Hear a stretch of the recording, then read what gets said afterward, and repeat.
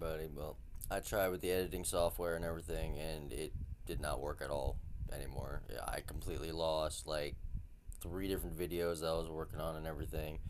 Um, each individually, it just it's not working no more. At first, it started with a little error where it wasn't allowing me to um, split the images and, and the videos in, in between. That way, I could edit it and everything. That way, it's not droning on with no no content, like no talking at all. It's just you know filler, pretty much. But um, yeah, I was trying to do that, and then just error after error after error. Kept messing up, wasn't working, and now it it went to a point to where it wasn't opening, and then when it opened, everything I had was gone, and I spent like almost two hours trying to get one decent clip out for you guys. It was terrible, terrible. I spent all that time, all that time, man, waste of time.